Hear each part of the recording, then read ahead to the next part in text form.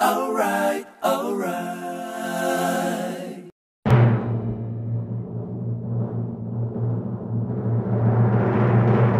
alright. Good morning guys. This is another day. Today is Monday. So schedule namin ang pagpapakuha ng, ng health certificate para sa requirement para sa travel pass. So pakita ko sa inyo kung gaano kahaba ang pila. Yun, yun ang pila. Hanggang dun sa dulo. Yun, yun ang pila. Anong baka pila ng Oo. pila? Hindi naman pala dapat ikapila. May kausap akong babae kanina eh. Eh, baka pila tayo ng pila din. eh. Hindi naman pala dapat ikapila. Kaya nga, Eh, nakapila kaya nga din tayo. magtatanong. Oo. Kaya tatanong natin. No, dyan, dyan, dyan. Ito po, makinig, makinig po. Tanong na rin kayo sa board, dyan ko sa kayo Yan makakakuha nga ng po tayo may katanungan, no? Ano po, no? Ang ginagawa po natin ngayon, ay i-address po natin. Lahat ng mga katanungan nung ninyo sa Saro sasagot. May numbering po tayo. Kasi tingnan nyo po, hindi na naman po natin nasusunod ang social distancing. Sir, kasi po nakapila din po kami doon. Ay, ma'am, iba ang pila doon, iba po. pila Kaya doon. nga, ho, ang ibig sabihin sir, magtatanong lang kami, pero kailangan pa ba namin pumila? Yes, ma'am.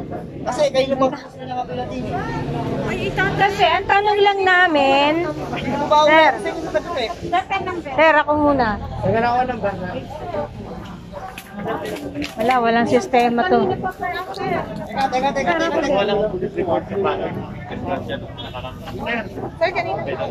Sir, nakakuha na po kami ng medical certificate. Ano po, hindi na naman natin nasusunod. Hoy, social distancing kayo. Ma'am, alam ko po ma'am. Eh. Alam ko ma'am ang gagawin. No. Na number. Eh, Kami pipila din po kasi doon, sir. Sir, nakakuha na po kami ng medical certificate. Eh, ganito po, no, ganito po, ganito po. Buntis muna. O, 11. No. Sir, ito may medical Kung certificate. magtatanong lang kami, pipila pa.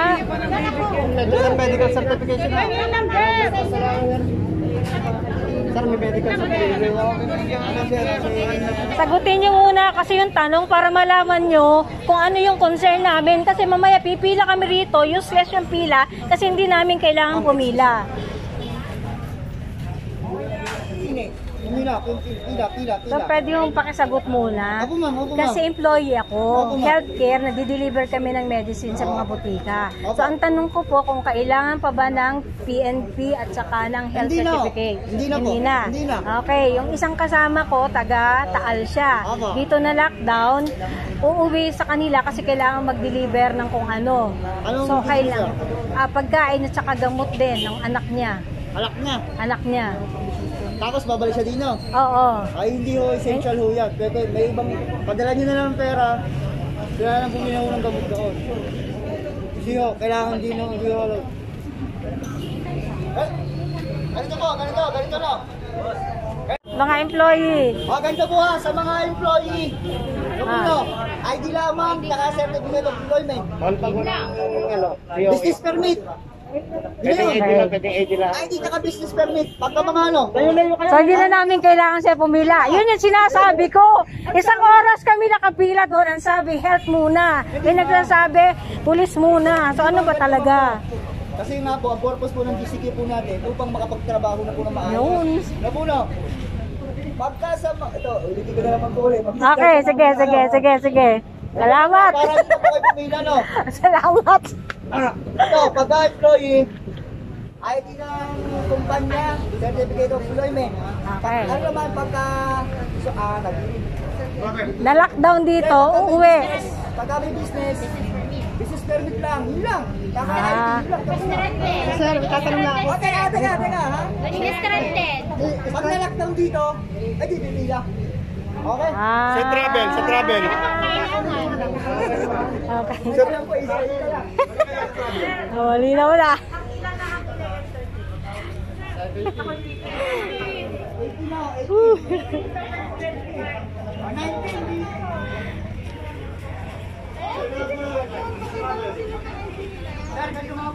Na-lockdown, Ayan guys, yan ay tsura ng pila papunta sa Manila City Health Center or sa City Health Office. Ayan, nakita niyo yung pila. Hanggang doon pa yun. Hanggang doon pa yun sa dulo na yun. Papasok hanggang dun sa loob. Merong pampila yan dun sa loob. Kaya ganyan po katinding init na tinitis sa mga tao para lang makakuha ng travel pass. Kaya hindi po nakakapagtaka kung bakit nagkakaroon ng heat stroke ah, cases dito. Kasi sobrang init nga po. Oh. Alas 9 pa lang ng umaga pero matindi ng init ng sikat ng araw. Ayan guys, nandito ako sa Jollibee ngayon. Bumili ako ng soup. Sobrang init talaga sa labas. So advice ko lang po sa inyo, huwag niyo kalimutan magbasa ng towel. Malamig na tubig po ito binili ko sa 7-Eleven. Kasi sobrang init talaga sa labas. So, kailangan kong basahin mo yung towel ko ng malamig na tubig kasi sobrang init talaga sa labas.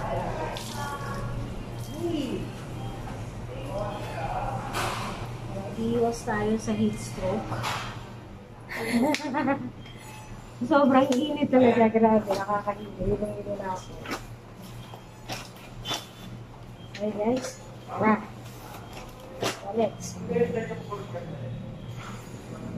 Formahan natin ngayon, ganyan. Okay? Uyot na naman ang mata natin.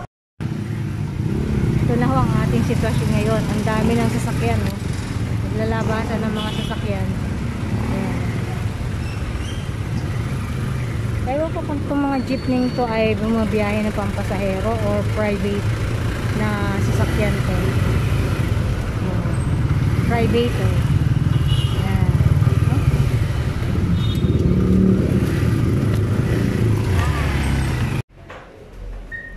Ito na rin po ang pila sa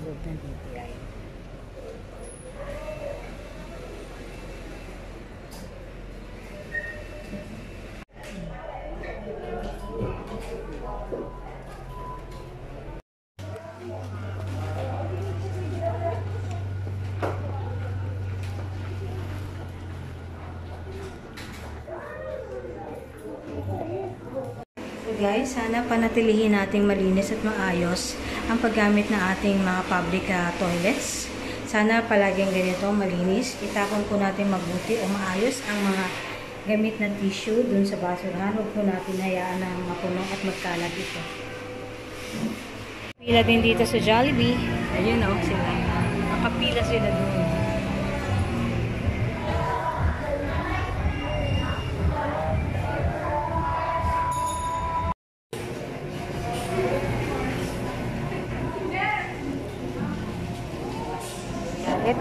Ang new normal natin sa pag-order ng Jollibee. Nakapila lahat.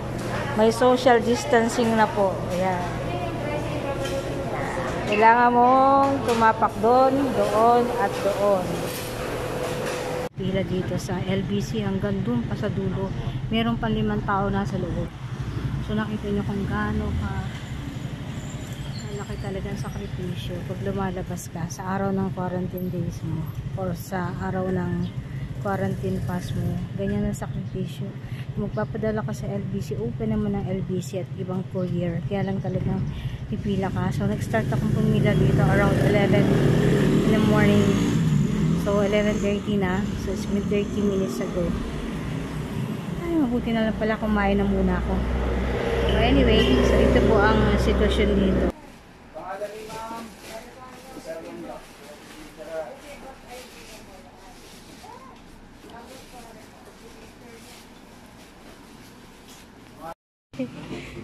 Oh, yan ay tsura.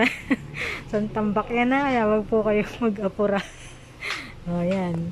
Yan yung pong sitwasyon dito sa loob. Ila. Sitwasyon ngayon guys. Nakapila kami dito sa labas. So, hintayin muna matapos yung transaction saka ka pwedeng pumasok. So, yun ang nasa loob. Yun. Dito tayo. Wala talagang sasakyan. Guys, naging magulong unang araw ng GCQ. So, basahin natin kung ano ang guidelines nila.